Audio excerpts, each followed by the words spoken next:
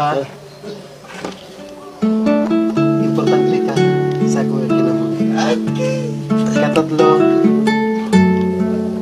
musulti ko sa ni mo. May ako feelings more than friends ko kasi. Okay ah.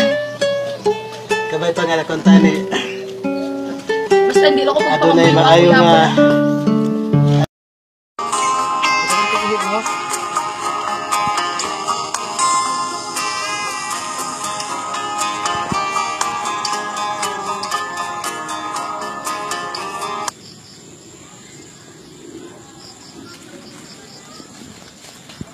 Good, good. Saman, saman. Ay, patakagihi niya. Kita niya ka sa mga babayo, doon lang kati sa babayo. Basig kita na niyang imuha.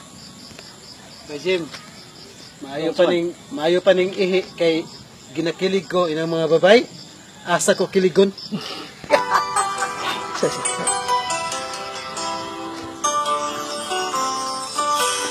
sige.